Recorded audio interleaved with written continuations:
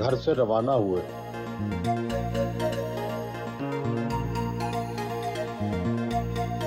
रोज़ाना घर से निकलते हुए मेन रोड पर गरीब खवातीन में पैसे तकसीम करना उनकी रवायत है।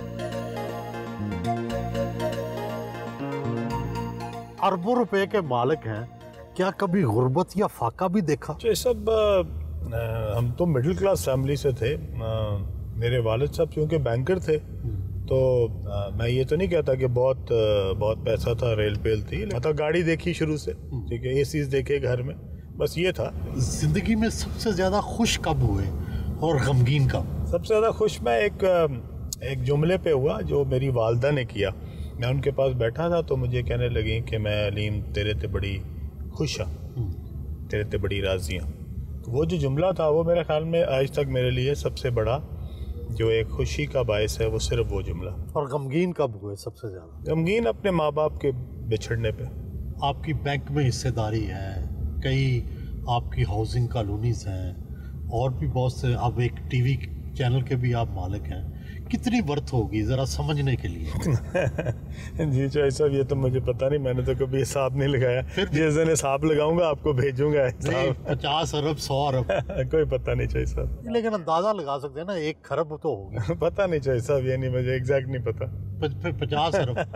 कुछ थोड़ा बहुत अंदाज़ा तो आप खर्चते हैं तो पता तो होता है ना बस अरबों अरबों में तो है बस। अरबों में है। अरबों में। और क्या क्या बिज़नेस करना चाहते हैं? मेरी फाउंडेशन जो है अ, मैं चाहता हूँ कि अलीम खान फाउंडेशन जी अलीम खान फाउंडेशन वो वो मैं चाहता हूँ कि वो अब लोगों के लिए ज़्यादा से ज़्यादा काम करे। अब तक आप सियासत पर कितने पैसे खर्च कर चुके हैं? आपने पीटीआई के पहले जलसे से लेके इलेक्शन तक फंडिंग की। कितने के पैसे अंदाज़ा लगाया कभी? तेरह साल चौदह साल का हिसाब है ये तो मैंने कभी नहीं लगाया। लेकिन लगा इतना लॉस हुआ।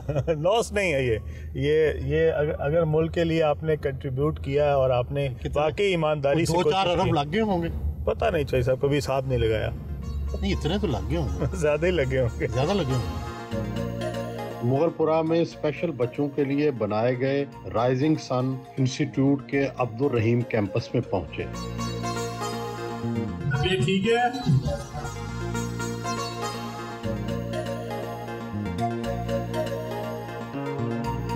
स्पेशल बच्चों को तालीम के साथ साथ वोकेशनल ट्रेनिंग भी दी जा रही है। टेलरिंग डिपार्टमेंट आए जहाँ कमर्शियली कपड़े तैयार किए जाते हैं। इस स्कूल में पढ़ने वाले बच्चों का यूनिफॉर्म भी यहाँ ही सिलता है।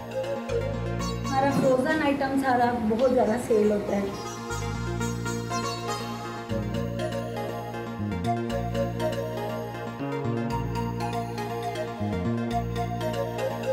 चलो इस पे आओ इस पे आओ इस पे आओ। हाँ चलो। चलो वेल डन बच्चों के साथ गेम्स खेली। कोचेज इंटरनेशनल ओलंपिक्स के लिए बच्चों को खेलों की तैयारी करवा रहे थे। स्पेशल बच्चों के लिए ये जो प्रोजेक्ट है जो आपने अपने वालद के नाम मानून कर रखा है इस तरह के और कितने इंस्टीट्यूट हैं और इसमें कितने बच्चे हैं? तो इसको तकरीबन आठ साल हो गए हैं इस अदारे को। और ये यहाँ पे इस वक्त कोई ढाई सौ बच्चा है जो सिर्फ़ इस अदारे में इसका पर्पज़ क्या है? जो हमारे बच्चे हैं स्पेशल नीड्स के इनको ज़्यादा तवज्जो की ज़रूरत है। यहाँ पे प्राइवेटली हम कोशिश करते हैं कि ये सारी चीज़ें हम प्रोवाइड करें, बच्चों को घरों से लेके आएँ ट्रांसपोर्ट दें, फिर उनको यहाँ पे ट्रेनिंग दें, फिर जो रिहेबिलिटेट हो सकते हैं, उनके ऊपर वो कोशिश करें। उन बच्चों को अपने पैर पे खड़ा करने के लिए वोकेशनल ट्रेनिंग करते हैं, ताकि कल को ये अपने पैर पे जब जवान हो जाएँ तो अपने पाँव पे खड़ा हो सके, अपने लिए कोई कोई रोज़गार बना सकें, कोई बेकरी पे काम कर सके। तो इसके ऊपर जो है डॉक्टर तवाब साहब की और मिसेस तवाब की बहुत कंट्रीब्यूशन है। उनको थोड़ा सा ये भी अंदाज़ा था कि डॉक्टर साहब ने लिबिया में बनाया था। तो उनको था कि यहाँ कुछ करें डॉक्टर साहब। वो नहीं कर रहे थे कि नहीं, यहाँ मुझे गवर्नमेंट सपोर्ट नहीं होगी, कोई सपोर्ट नहीं करेगा। तो मदर को उस दिन रोते हुए देख के मैंने डॉक्टर साहब से कहा, आप करें ना करें, मैंने कुछ करना है। तो डाइनिंग टेबल थी डाइनिंग टेबल से शुरू किया। एटी फोर से तकरीबन फोर्टी ईयर्स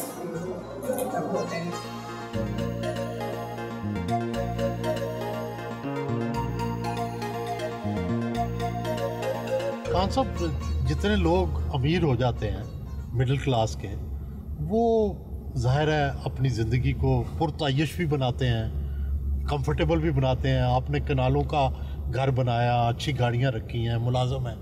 लेकिन आ, कभी नहीं सुना कि आप गाना सुनने गए हों आपने कोई दूसरी शादी कर ली हो। तो कि इस बारे में आपके क्या नजरियात हैं? हुसन प्रस्त नहीं है आप? मुझे शायरी का शौक़ है मुझे गाने का भी शौक़ है लेकिन वो जाके सुनने वाला शौक़ नहीं है। आ, मैं मैंने अभी कॉन्सर्ट करवाया था अपनी एक सोसाइटी में वह आपदा परवीन साहब आई थी। तो मुझे बहुत पसंद है आपदा परवीन मुझे आतिफ असलम बहुत पसंद है मुझे नुसरत फ़तेह अली राहत फ़तेह अली बहुत पसंद है।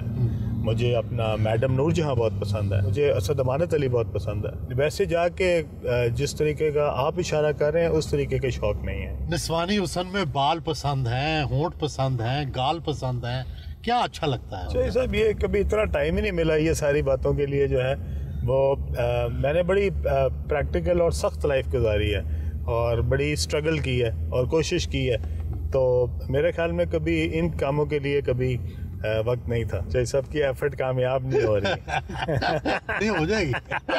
देखा लगे रहना मेरा काम है लगे रहना। गवाल मंडी में अपने आबाई घर को भी अलीम खान फाउंडेशन के लिए मुख्त कर दिया है। आबाई घर में वालदा बेगम नसीम खान के नाम से एक शानदार स्कूल बना रखा है।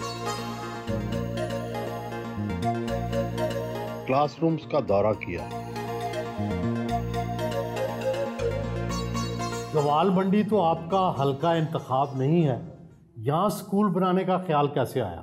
ये जो है मेरा आबाई घर है और इस घर में मेरे वालद साहब ने ये घर 1948 में ख़रीदा और हम यहाँ से कोई 1981 में जो है वो गुलबर्ग शिफ्ट हुए। सो so, 81 तक जो है वो सारे हम यहाँ पे यहीं पे मेरी पैदाइश भी यहीं की है। पुराना घर था तो वो उसको स्कूल नहीं बनाया जा सकता था तो मैंने अपनी वालदा के नाम से इसको दोबारा से रीबिल्ड किया और अब ये बच्चियों का स्कूल है। इनसे फ़ीस लेते हैं आप? नहीं इसकी कोई फ़ीस नहीं है जी कोई इनकी एजुकेशन फ्री है इनकी किताबें भी फ्री हैं और ये हमारी बच्चियाँ हैं और ये इनको मैं चाहता था कि एक ऐसा एक ऐसा इंस्टीट्यूट बने यहाँ पे जो किसी सूरत भी किसी किसी अच्छे प्राइवेट अदारे से कम ना हो। अब कितने बच्चे हैं यहाँ पे? एक सौ चालीस पचास के करीब बच्चे हैं। और ये इंशाल्लाह हर साल इसमें इजाफा होता जा रहा है। पिछले दो साल से जो है ये बना हुआ है।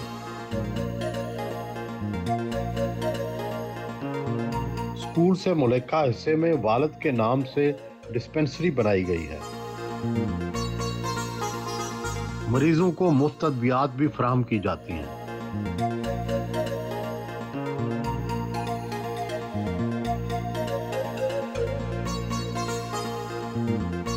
न्यू अस्पताल पहुँचे।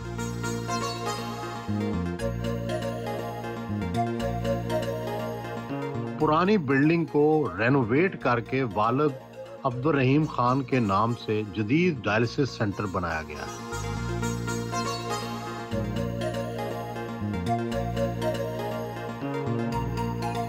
है मरीजों से मुलाकात की।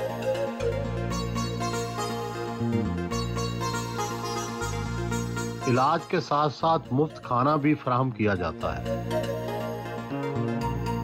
कितने डायलिसिस सेंटर कहाँ कहाँ कायम कर रखे हैं? जो मेरे वालद के नाम पे है वो ये मेयो हॉस्पिटल है जहाँ हम बैठे हैं। और एक सर्विसेज़ में है जो राजा साबिर साहब के नाम पे है जो मेरे ससुर थे। और एक मेरी वालदा के नाम से है जो कि चिल्ड्रन हॉस्पिटल में है। ये तीन तीन इस वक्त ऑपरेशनल है। एक मैं अब इन ताला फाउंडेशन खोलने लगी है कोयटा में एक नया डायलिसिस सेंटर और वहाँ के जो गवर्नमेंट है हम उसके साथ मिलके उनसे जगह ले रहे हैं। ये मेयो अस्पताल वाला आपने खुद बनाया? जी ये बिल्डिंग जो है वो पुरानी बिल्डिंग थी। ये इसको हमने रिफर्बिश किया सारा। हमें जो सपोर्ट है डॉक्टर्स की और नर्सेज की वो गवर्नमेंट की तरफ़ से है और इसकी जो बाकी अखराज है वो हम लोग उठाते हैं। एक मरीज़ पर कितना खर्च उठ जाता है? आ, कभी हिसाब नहीं लगाया जी इसका लेकिन जो मरीज़ों की ज़रूरियात हैं वो हम सारी पूरी करते हैं। खाना भी देते हैं। खाना भी देते हैं। ट्रांसपोर्ट के पैसे भी देते हैं। जी ट्रांसपोर्ट के पैसे भी देते हैं। इनको अगर कभी कई लोग ऐसे हैं जिनके घर में भी ज़रूरियात होती हैं उसकी भी मदद करते हैं।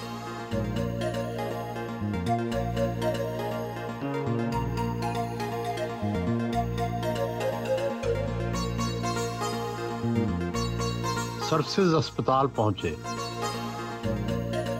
सुसर जस्टिस राजा मोहम्मद साबर के नाम पर दो मंजिला जदीद डायलिसिस सेंटर कायम किया गया।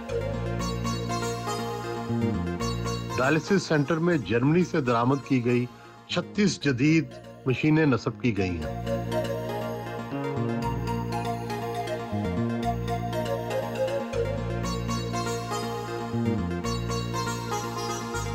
इलाज ठीक है? बहुत आला है। अच्छा। तसली आपकी? मैं यहाँ का एम एस भी रहा हूँ। यहाँ के हाँ। अच्छा। लेकिन इस तरह की चीज़ नहीं देखी कभी मेरे होते भी नहीं कब थे आप एम एस फोर्टी दो हज़ार चौदह में।